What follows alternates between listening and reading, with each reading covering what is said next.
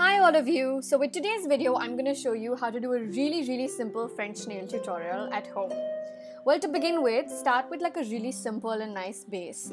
I like a slightly pink tone, but you can also do a nude tannish tone because I know that a lot of people like that as well.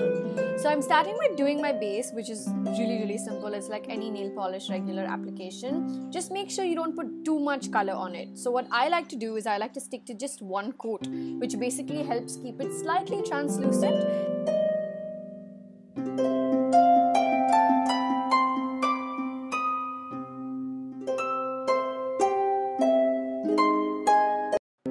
Once I'm done doing my base coat, I'm just gonna let it dry out. Give it a couple of minutes depending on the kind of nail polish you've taken. It'll probably take about a minute, maybe two to dry out. Now I'm gonna take some scotch tape. I'm gonna take this scotch tape and cover my nail, leaving open only the area where I'm gonna be applying my white French coat. Now I'm going to take my white nail polish and do the little French manicure bit. So now that I have my scotch tape covering up the rest of the nail, it's going to be really really simple because I can be clumsy and paint all over it. And the only exposed area like you can see is that little open area where you want the French tip to come. So you can go horizontal, vertical, just go crazy and uh, paint away with the white color.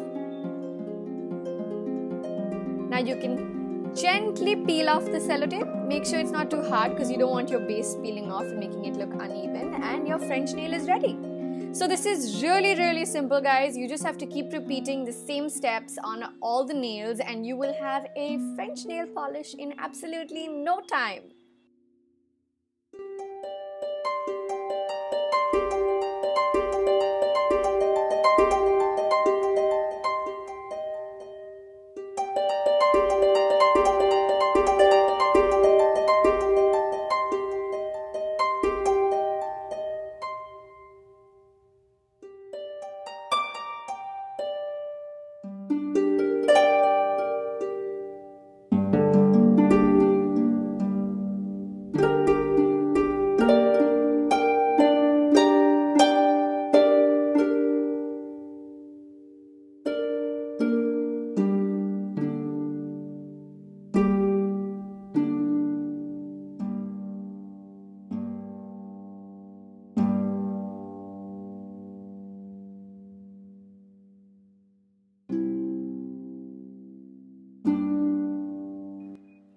To give it a slightly different look, I have taken a pink glitter nail polish and painted my accent nail, which is my ring finger, in a different color.